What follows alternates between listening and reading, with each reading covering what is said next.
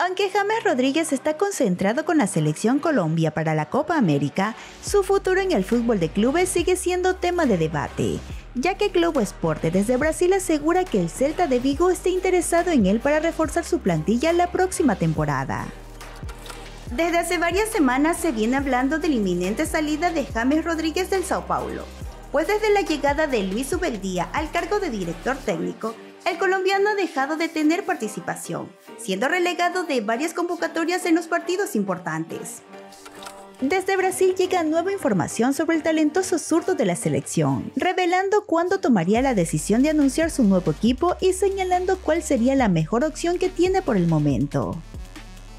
Pues bien, según reporta Globo Esporte, el cucuteño se encuentra en su totalidad en modo selección Colombia y no quiere que nada se interponga en uno de sus más grandes objetivos, la Copa América. Es por esto que una vez finalice su participación en el torneo más grande a nivel de selecciones del continente, el 10 de la tricolor anunciaría cuál será su nueva etapa en el mundo del fútbol. El medio citadino anunció lo siguiente en web. Consciente de que James Rodríguez está fuera de los planes de Sao Paulo, el Celta de Vigo buscó información sobre el jugador colombiano.